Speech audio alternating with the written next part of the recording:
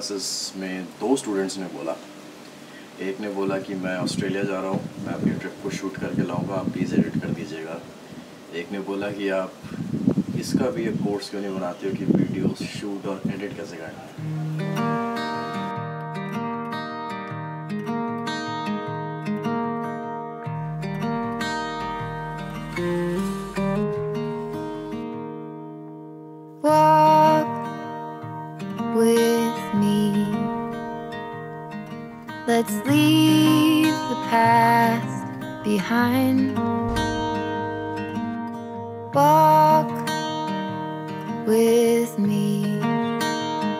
There's something else we need to find.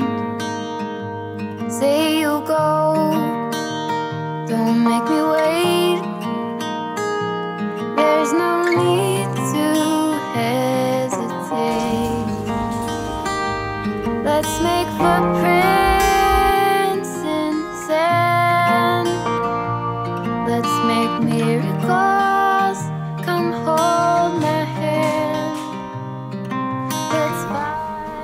मुझे गाली दे रहे होगे कि मैंने बताया नहीं कि ईसीजी रिपोर्ट में क्या हुआ? ईसीजी रिपोर्ट मिल तो कल ही गई थी बट जब मैंने डॉक्टर को भेजा तो उन्होंने बोला कि तुमने सही फ़ोटो भी खींच के भेजी? सही फ़ोटो खींच के भेजी तो उन्होंने बताया, बिल्कुल नॉर्मल है चिल करो रिलैक्स करो इससे याद आया मैं जा रहा हूँ जिम हालाँकि when you get a tattoo it is highly recommended 48 hours तक उस एरिया को पंप ना करो बट टैटू यहाँ बना है। बॉडी में और भी तो मसल्स हैं लेग्स करेंगे। आज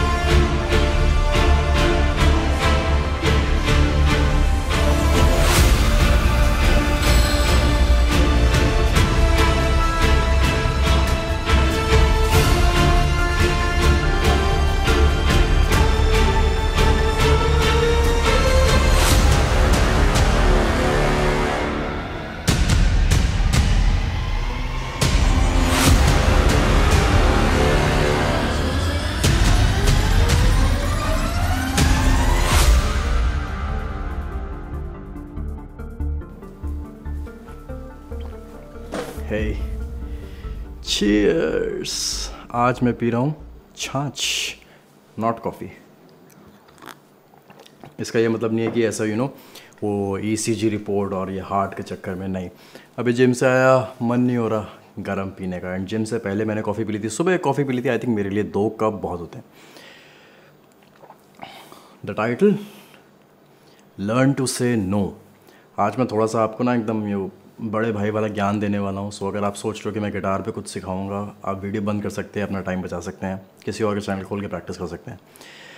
बट अगर कुछ बड़े भाई की एडवाइस चाहिए, बहुत सारे लोग, बहुत सारे म्यूजिशियंस मैं देखता हूँ जो मेरा चैनल देखते हैं। They want to make a career music में। करियर बनाने के लिए आप कितनी भी प्रैक्टिस कर लो, आप कितने ओवरनाइट सेंसेशंस को जानते हो एक वीडियो आया हिट हो गया, बन गए। बट क्या वो उसको सस्टेन कर पा रहे हैं? क्या आपको पता है आज वो कहाँ है? क्या वो उस चीज़ को सस्टेन कर पाए? अगर आपको करियर बनाना है ना, आपको उस चीज़ को सस्टेन करना पड़ेगा। आपको बार बार हिट्स मारनी पड़ेंगी बार बार हिट्स देनी पड़ेंगी अपनी ऑडियंस को। अपनी ऑडियंस को बार बार सरप्राइज़ करना पड़ेगा। एंड एक बहुत बड़ी चीज़ है आपका attitude attitude towards life attitude towards your art जिसको मैं आज एड्रेस करने वाला हूँ। एक बहुत ही सैड चीज़ है कि म्यूजिशंस को सोशल सर्कल्स में इतनी इज़्ज़त नहीं मिलती है। ये मैंने देखा भी है मैंने I have been through it ठीक है? आपको केवल पार्टीज़ में इसलिए इनवाइट किया जाता है पहले तो बोला जाता है प्लीज़ यार आ जाओ बहुत अच्छा लगेगा अगर आप आओगे। You know you will be our chief guest and तुम्हें कौन नहीं जानता? It will be an honour to host you और आप भी एकदम खुश हो जाते हो वाह यार मतलब लोग क्यों बोलते हैं आर्टिस्ट की इज़्ज़त नहीं है? And the next message you see is कि uh, तो तुम अपना गिटार लेके आ रहे हो ना? स्टेज पे बैठोगे ना? आपको you have to learn to say no to all these मैं एक एग्जांपल देता हूँ। पिकासो एक बार एक जगह बैठे थे। Was having his coffee or lunch. I think it's in a book and it's real उन्होंने एक टिश्यू पेपर पे कुछ आर्ट ड्रॉ किया। आप भी खाली बैठ रहे हो गिटार पे कुछ ना कुछ बनाते हो ना? कोई ट्यून बनाते हो।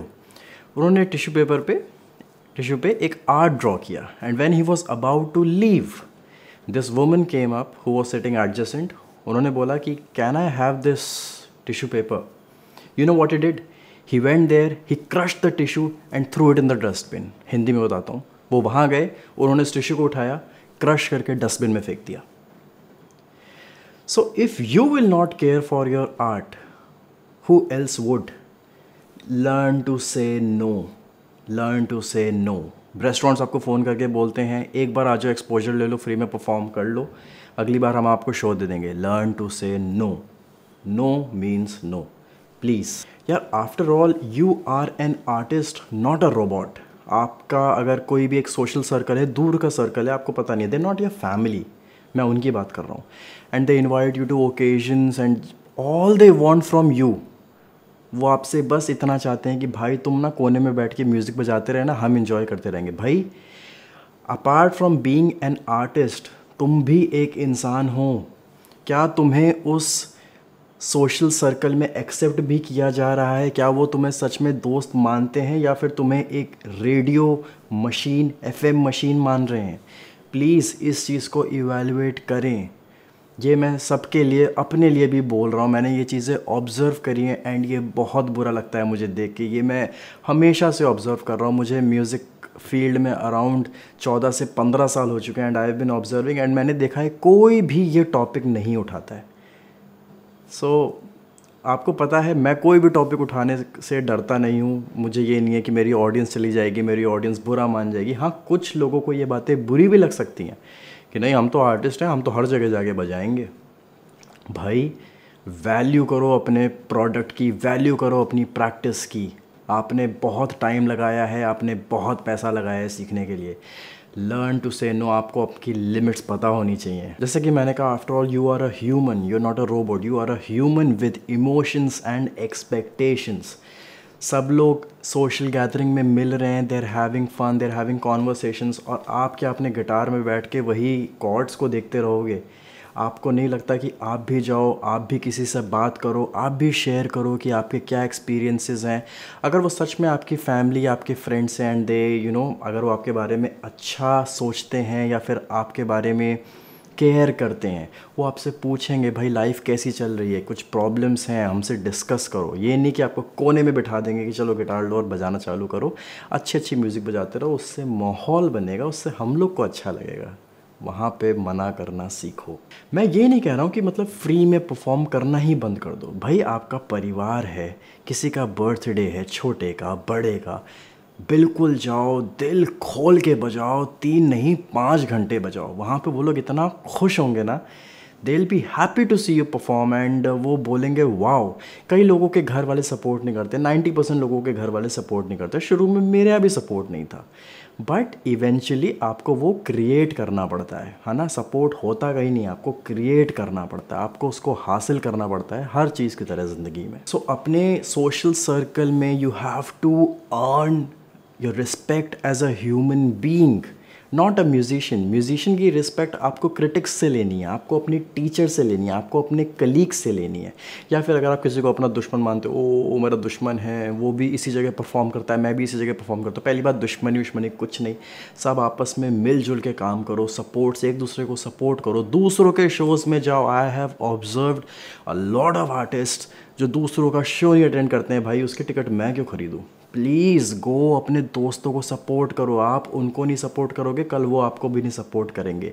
ये चीज़ हमें इंडिया में चालू करनी है। स्टार्ट सपोर्टिंग ईच अदर भाई। तो so, जैसा कि मैंने आपको शुरू में बताया अगर आपका एटीट्यूड ऐसा रहेगा ना आपके लिए मुश्किल नहीं है म्यूज़िक लाइन में अपना करियर बनाना। आपका एटीट्यूड बिल्कुल बढ़िया है।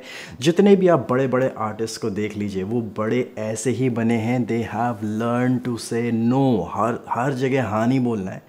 आओगे, बजाओगे? हाँ आओगे, बजाओगे? हाँ। नहीं भाई, आपका टाइम प्रेशियस है। घर बैठो प्रैक्टिस करो। बहुत सारी चीज़ें हैं करने को। आपका भी एक दिल है। उसमें स्ट्रेस होता है। यू नो पिकअप हॉबीज़ किताबें पढ़ो, कुछ भी करो।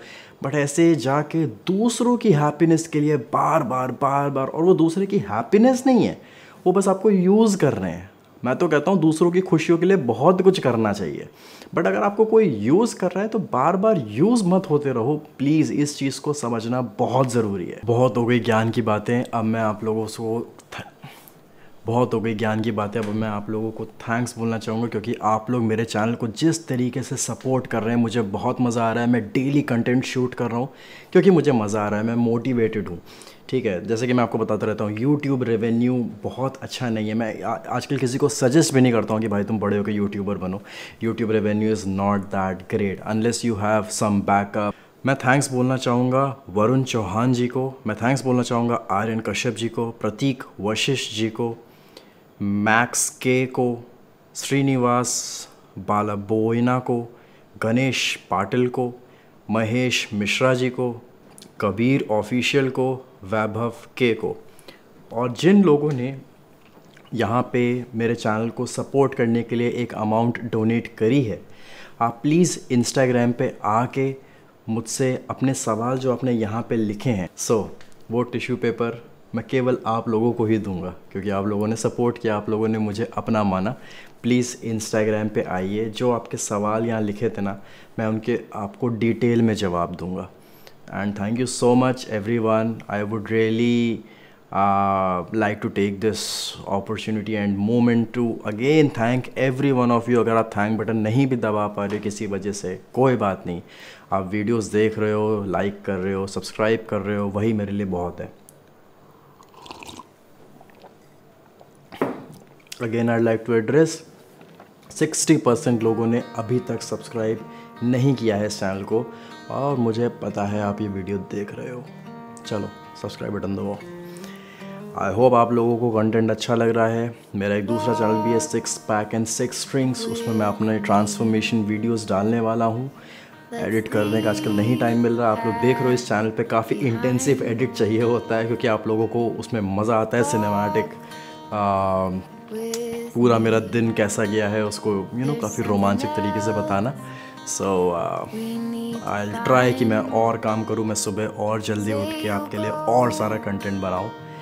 तब तक के लिए अपना ख्याल रखें, अपना भी व्यू पॉइंट बताइए जो आज बातें हुई हैं यहाँ कमेंट सेक्शन में या फिर इंस्टाग्राम पे आके अके him himself is my handle एक रिमाइंडर फिफ्थ सितंबर से एक गिटार बैच मैंने चालू किया है। Budget guitar batch under budget केवल चौदह सौ निन्यानवे रुपये में आप इंस्टाग्राम पे मुझे बोल सकते हो या फिर नीचे आपको एक नंबर दिख रहा हो मेरी मैनेजर हैं, उनको आप मैसेज करके वो बैच ज्वाइन कर सकते हो, कोई फ़र्क नहीं पड़ता, आप बिगिनर हो, आप इंटरमीडिएट प्लेयर हो, आप एडवांस प्लेयर हो, कोई फ़र्क नहीं पड़ता, वो बैच सबके लिए ओपन है, ठीक है? Take care bye